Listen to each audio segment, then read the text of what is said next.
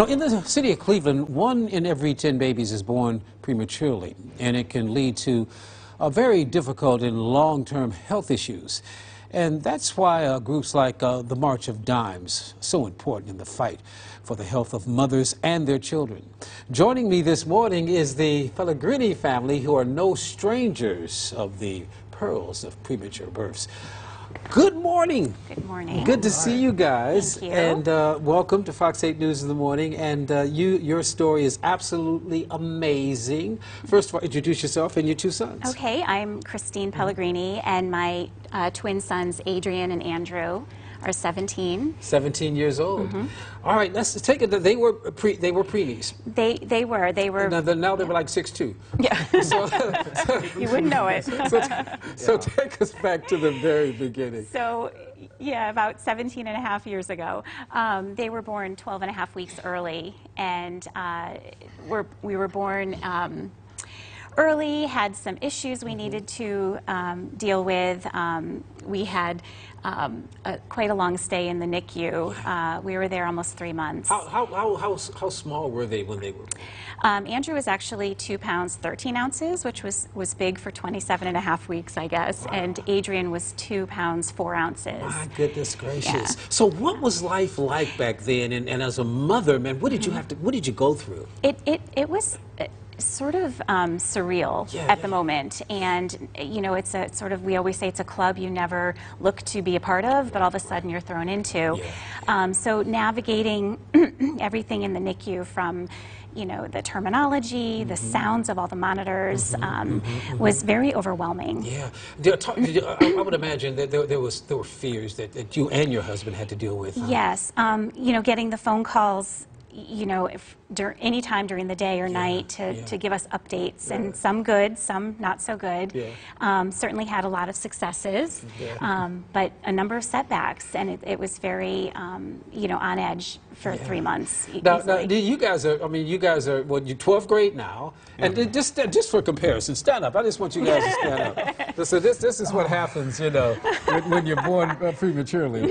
And, uh, uh, uh, you know, so you guys are doing wonderful, doing fine right now. so, yeah. Uh, all right, tell me, tell me about your life. What, what's your future? What, what's the future hold for you? So, um, man, where do I start? Yeah, yeah, yeah. Uh, yeah, so right now, I mean, 12th grade's going great. Yeah, yeah, yeah. Uh, you know, I have a lot of friends. I've, like, the three years I've been in Cleveland, it's been great. Yeah. Um, yeah, right now, I've been, college is coming up. Yeah. And I've always been fascinated with, like, how the body works Yeah. and, you know, the biology of everything. But I also really want to just help people. Like, You want to who are- be a doctor or something like that? yeah, like, go in the medical field. Excellent. And, um, Excellent. Yeah. That's it. What, what about you? Yeah, so I've always been uh, fascinated with sports and hockey in particular for me. And Uh-huh. uh, I've always wanted to know like how the team operates, Right, and I right, want to go right. into that sort of field and. Yeah. Sports business in hockey. proof positive that uh, you know that even though you're born prematurely, with the help of organizations like the March of Dimes, Yes.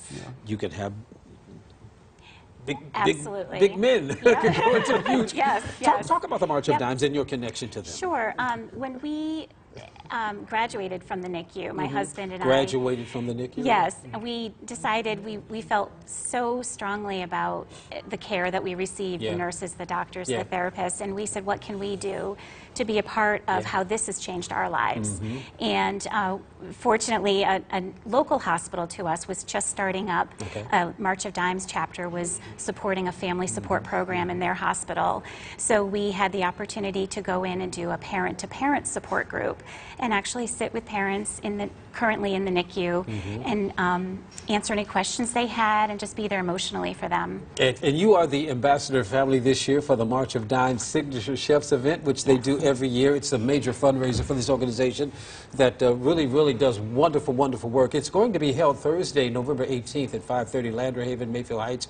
Uh, for many, many years, I've been involved with it along with Kristi Capel. We're going to be the MCs that night, and just a wonderful, wonderful night. Uh, the chefs are incredible. They have, you know, it's a, it's you just kind of go around the, the, the venue and just test all the taste all the food and Oh, stuff yeah. like that. Just a wonderful, wonderful event. And once again, it, it supports a great cause, the March of Dimes. They, they do such a wonderful job. They do, absolutely. Mm-hmm.